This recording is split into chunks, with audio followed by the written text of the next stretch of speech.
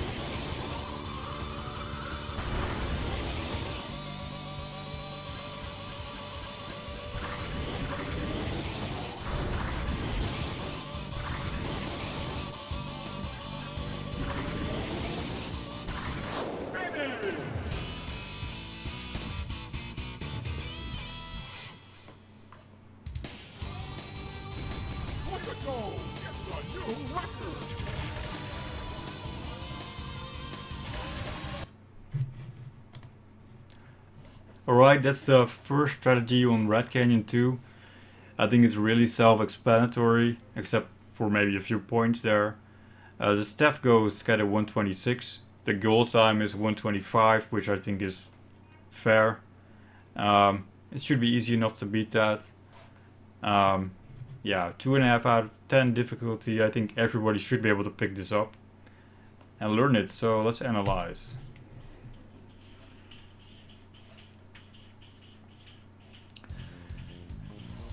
So I'm picking the Twin Noritta with grip-based driving.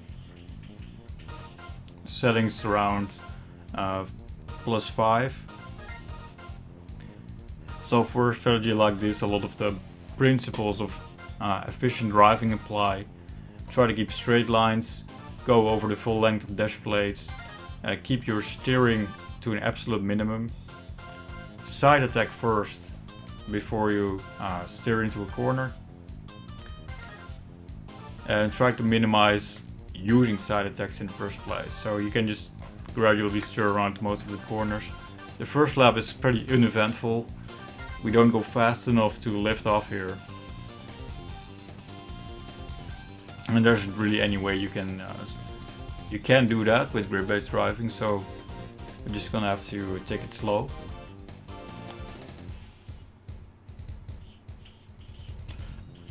Yeah, so just Take it easy, stay on the insides. You don't really need to do any side attacks or anything here. Now the corner coming up is the hairpin. It's a big long hairpin that's ideal for drifting. And it's too sharp for us to take without any aids, so you have to do side attacks. And if you side attack really fast, you can stay actually on the all the way inside of it. But in any case, just keep your grip and uh, mash that side attack button to go around it.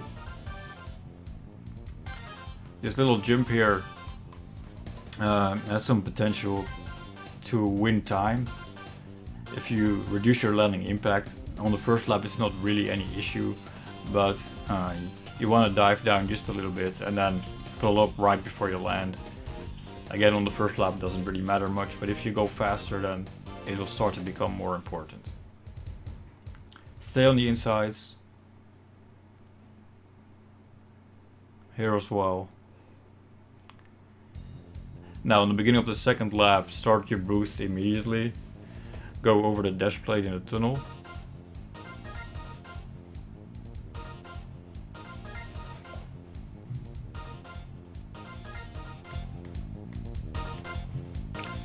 Just keep a straight line, keep on boosting here.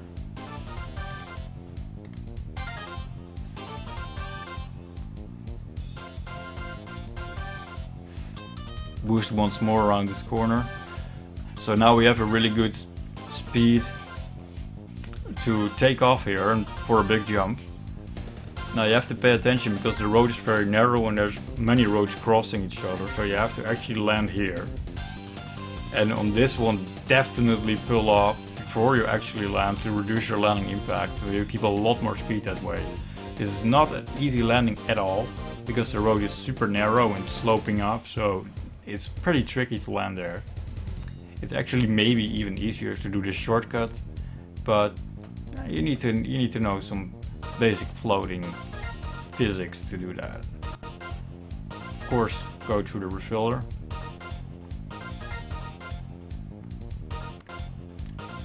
On this section I don't boost, or I boost once here.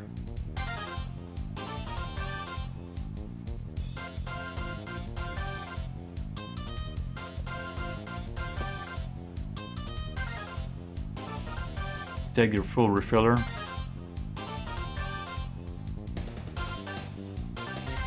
And as soon as I exit the refiller, I start boosting again. And the final lap is very similar. Take the dash plate, keep a straight line.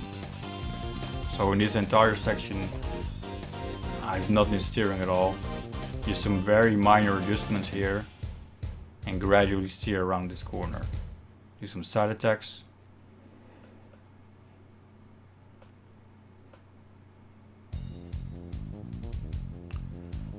And again, the same jump here.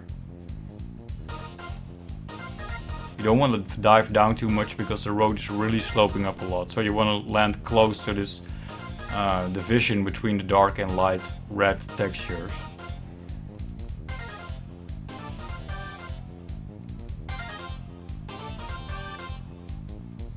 These divisions between textures are also a good indication of where the checkpoints actually are on all these changes there's a checkpoint which will come in useful later for future strategies. So of course I, have at this point just use up all your boost, go for that final refiller and finish the race. It's easy enough to beat staff ghost like this. The, the jump and the landing especially will take a bit of practice to get down. But yeah, if you keep good lines, keep your grip with the right settings. Staff ghost should be easy.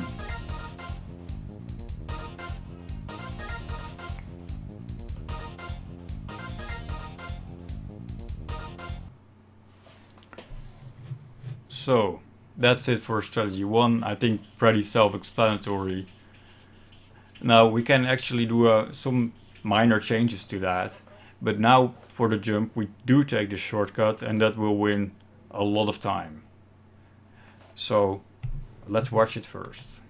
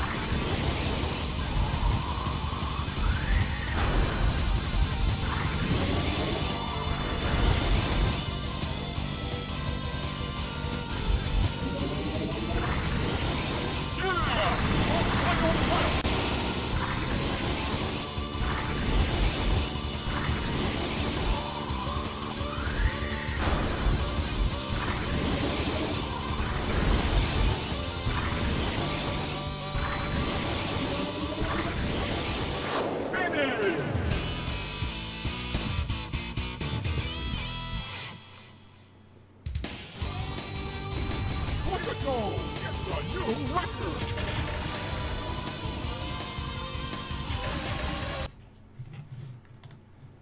Alright, so just taking that shortcut on lap 2 and 3, we win already about 8 seconds, a good 8 seconds on the previous strategy. The rest of it is more or less the same, so let's analyze. That shortcut is not uh, very intuitive so we can start on lap 2 because lap 1 is identical to the previous strategy. You want to keep on boosting here so you have a good pace when you lift off here. Now you don't want to dive down too much. And actually I'll pause it here. As you can see um, on this area, you can see the track texture change from dark red to light red. This is the checkpoint that kills many of these shortcuts attempts. You want you need to be above it, above the track here, so you, and you need to be close enough to it to make it count. So what you want to do, you want to dive down just a little bit and stay about in the middle here. The hairpin is down here behind the speedometer. You want to stay about in the middle here, dive down, and as soon as you're pretty close to this point forward, you can use some right side attacks and maneuver the ship into the hairpin down here. If you go straight for the hairpin, there's a good chance that you'll be e either under here or you're too far away from it to make a checkpoint count. So that's what you can see me do here. I'm flying straight ahead and here I'm starting to turn right into the hairpin and land in this hairpin. So the question is about the settings, yeah they're about plus 5. I'll check for you in a moment. So of course you want to keep as much speed as possible from actually landing way back far ahead in the hairpin. So start to track through the hairpin really quickly keep your grip, and boost afterwards.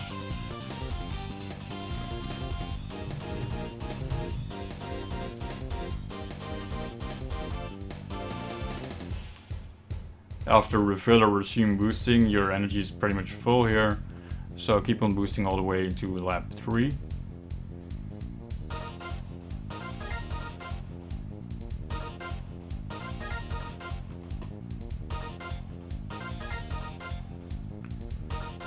Boost again here and then once more.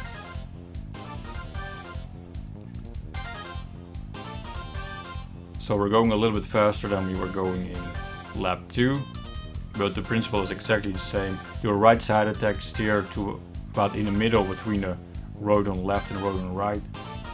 When you're very close to that checkpoint there do some quick right side attacks and move control stick to about upright to dive down and to the right uh, into the hairpin. It's sort of a mini double tap dive without a very optimal setup, but that does, that's okay. This is the easiest way to take the shortcut and land, land it in the hairpin. Of course, afterwards, just use up all your energy, keep on boosting to finish the race. And so this wins about 4 seconds per lap compared to the previous strategy.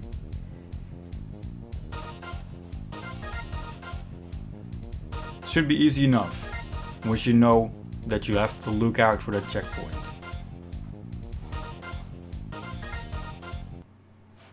Alright. Now let's move on to strategy 3. This is going to be completely different because as I said in the beginning, Red Canyon 2 is a is a really great track for drifting. So now we're switching over to a drifting strategy and that also means that we can do the shortcut already in lap 1 so we can win a ton of time actually about 13 seconds compared to strategy 2 um, real quick I'll check what the exact settings that I used. Uh, somewhere here. Further back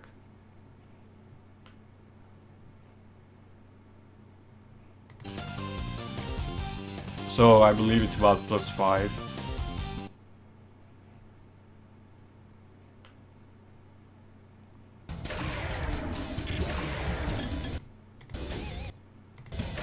Yeah, so plus 5. That's it. Alright, move on.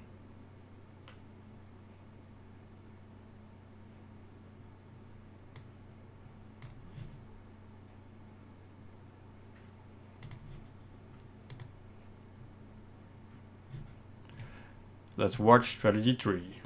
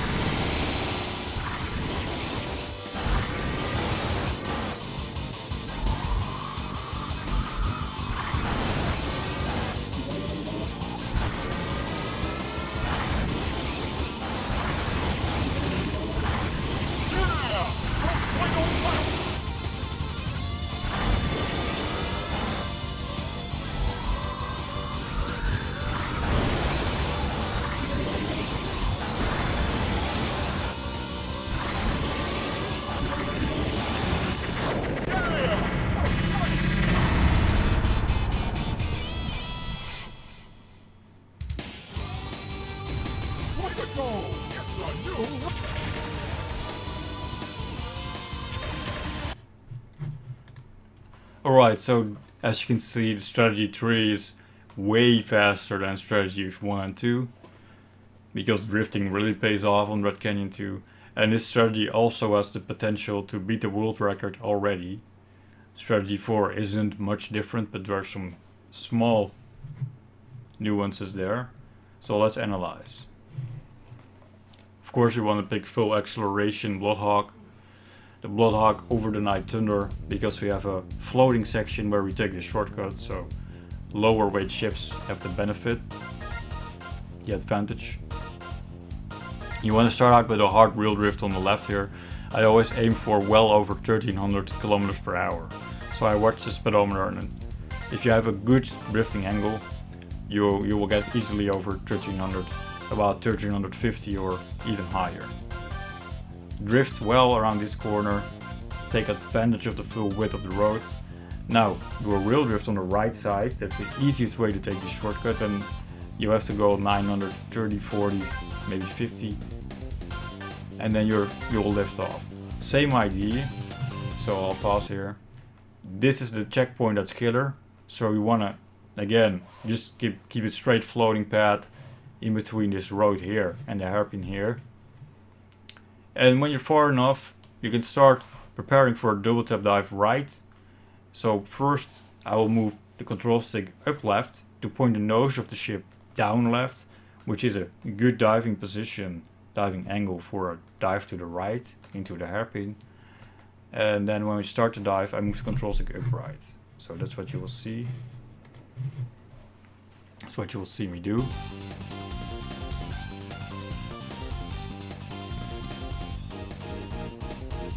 So move the controls to get right. And then uh, double tap Z to get through this hairpin.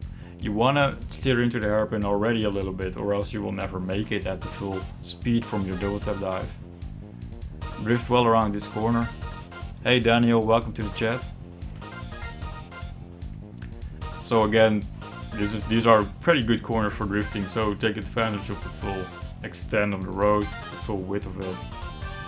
You cannot do a rail drift here on the left, because there's actually a minuscule patch of dirt there that's not visible, but it is visible when you play the expansion kit.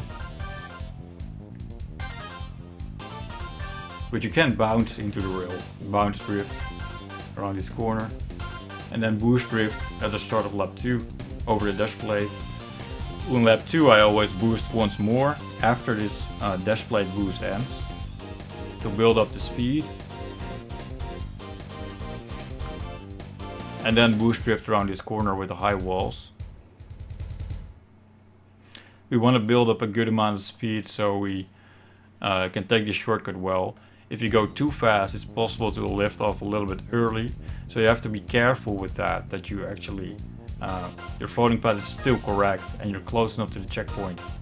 What I do, I just do two right side attacks to maneuver my ship above the hairpin and then start a drift to the left already in the air. So I start out with an air drift and in the middle of the drift I land in the hairpin and continue, continue the drift uh, into the refiller. It's very tricky to take the full refiller because it's very small narrow strip of it. So that will definitely be uh, troublesome and need some practice to get that. Of course, get this whole left refiller keep on boosting immediately after this because now we really want to preserve the speed into lap 3. Uh, for energy management reasons, because now going traveling quite a bit faster on lap 2, I skip a boost here. You have to do that to uh, yeah, to make to make it without skipping any of the really important places where you boost, which would be the corners, to boost drift. Shortcut, same idea, one right side attack, one or two. Move to that um, where the texture changes from dark red to light red. Two more side attacks. Maneuver the ship above the hairpin and then you can start drifting already in the air.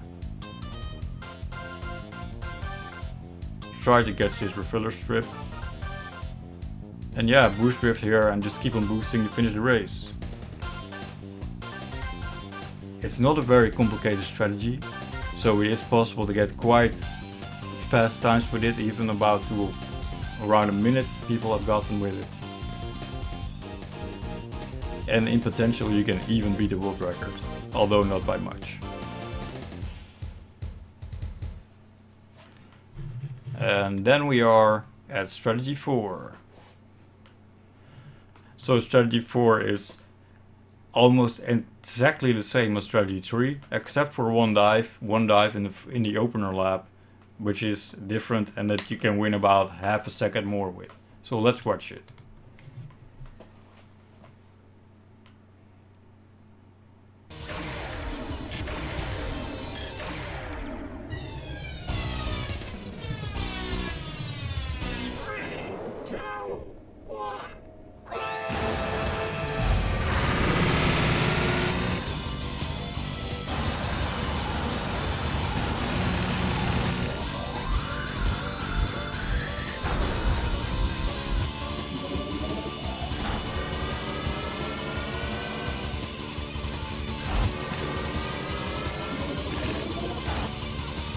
oh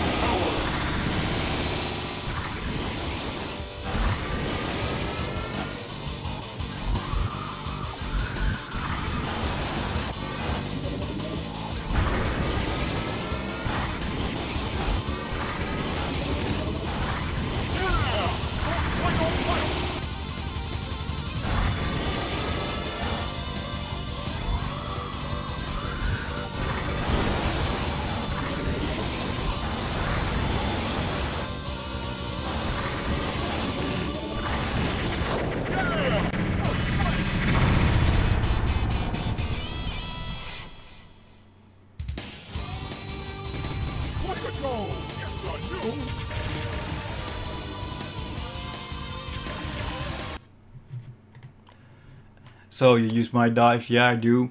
So this is the exact same strategy that the world record uses. And that opener dive is not easy at all.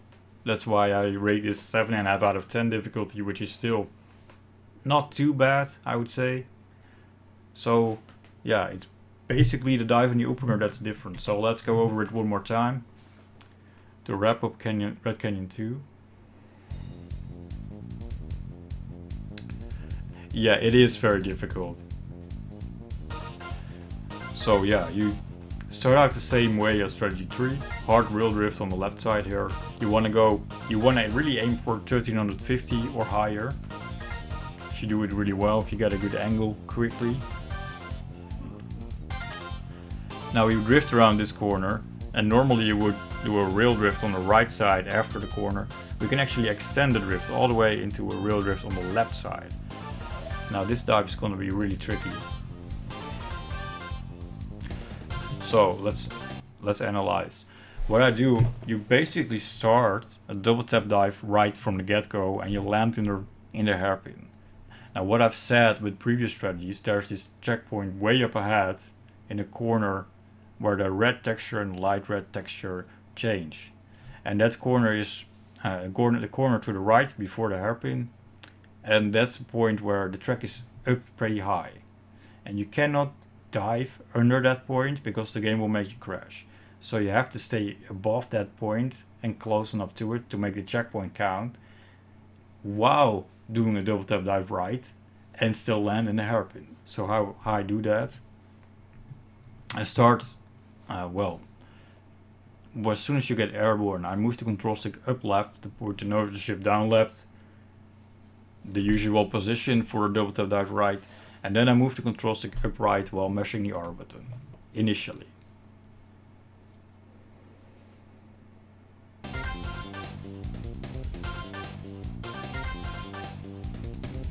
drift out to left a little bit, motion the ship down left, control stick up right, the R button.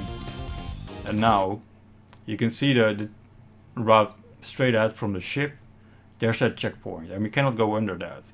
So what I do, I at this point, I only hold slightly upright or even a little bit down on the control stick because I cannot go under that point. But I need to keep moving right gradually. So until I get close to that checkpoint, I'm really keeping it easy on the diving down and diving right part. Just very gradually, just partially upright until I'm close enough to the checkpoint. And now I'm free and I can just fill fully hold up and right and land in that hairpin.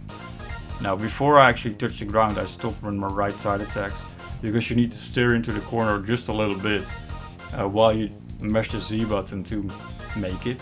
You cannot go uh, much faster than this without crashing into the walls, so that's the limitation of it and that's why you can only win about half a second doing this.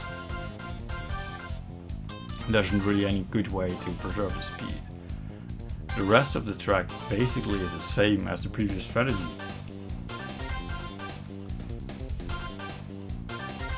Again, you cannot really rail drift here, but you can bounce into the wall. I bounce just once, keep it really inside on these turns, keep a good drifting line. And especially on your opener, your opener lap, you can win quite a bit of time here. Get a low 23.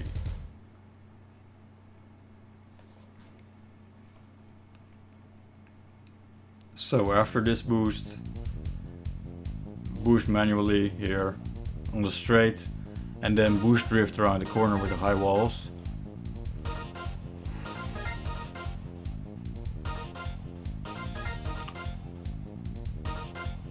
Stop boosting, right, two right side attacks is what I usually do. To move about here, in the middle between the pieces of road. When you're close to the checkpoint, I do two more right side attacks moving right, above the hairpin, start the air drift left, and land in the hairpin while you're drifting. So Dan, is this about how you do the double tap dive as well? Or do you have any a different method? I'll be curious to know, but this is how I uh, how I would do it. Yeah, so the, the, strategy is the same as the previous one. Keep on boosting here. Boost once more into lap 3. Check the dash plate. Skip the boost here. We don't have any more energy, unfortunately.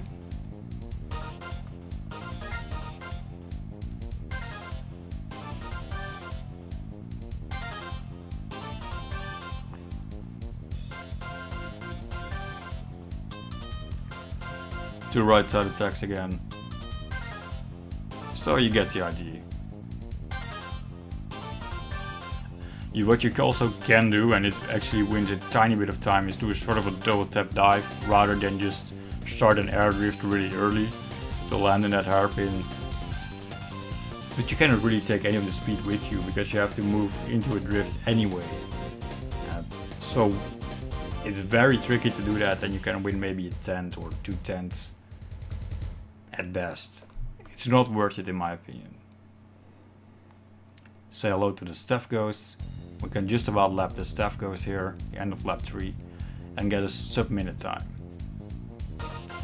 So this this is really a fun track in my opinion. It's not very difficult and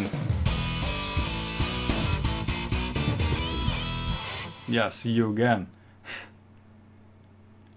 If you learn a shortcut and especially if you learn the drifting strategy and you can do the shortcut in lap 1, you'll see your time go way way down. And yeah, if you can know how to drift well, you can be well sub 110, sub 1.5 and even sub 1 minute if you really master it completely. So, very fun track. Good stuff.